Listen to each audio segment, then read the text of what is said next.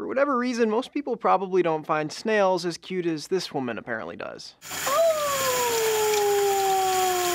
But cute or not, snails in the US are facing a threat that anyone would struggle to find cute the New Guinea flatworm. This is a picture of the flatworm, Platydemus manokwari, and it's significant because it was taken in Florida, making it one of the first records of the flatworm in the continental US. The problem for snails is flatworms are voracious snail predators, and Platydemus has the added threat of being extremely invasive. It's the only flatworm on the invasive species specialist group's list of the 100 worst invasive species on the planet, and its arrival in France prompted fears about the country's precious escargot. Luckily for French chefs, the researchers say the invasion there has been mostly contained contained to a greenhouse in Normandy, highlighting one way the worm gets accidentally spread plants. It's not clear exactly how it got to the US, but researchers say the worm can get transported with plants and plant soil, which means they could hitch a ride on plant imports. And the US faces some unique problems when it comes to containing the invasion, as the researchers explain. While most of the infected countries and territories reported until now are islands from which the spread of the species through human agency is limited by means of transportation and various business and biosecurity protocols,